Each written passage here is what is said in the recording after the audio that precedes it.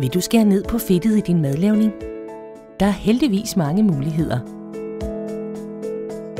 Her kan du få tips til, hvordan du laver pulversovs med mindre fedt.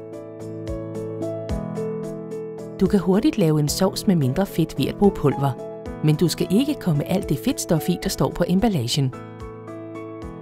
Du skal starte med at piske mælken og pulveret sammen i en gryde og lade det småkoge.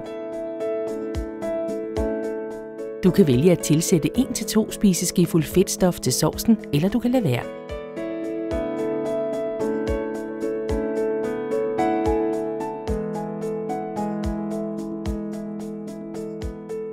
Vi håber, du er blevet inspireret. Du kan finde opskrifter i velværekøkkenet på Diabetesforeningens hjemmeside www.diabetes.dk.